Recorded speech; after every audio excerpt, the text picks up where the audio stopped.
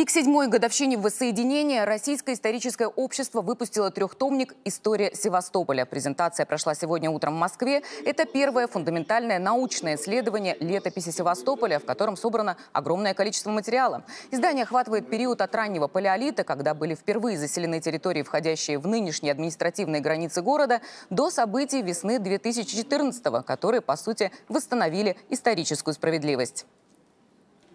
Хотел бы поблагодарить в этой связи севастопольских историков, которые за 23 года под украинской властью не изменили ни своей профессии, ни принципам. Сохранили научную школу, продолжая накапливать новые знания и делиться ими со своими земляками. Эта книга в первую очередь их триумф.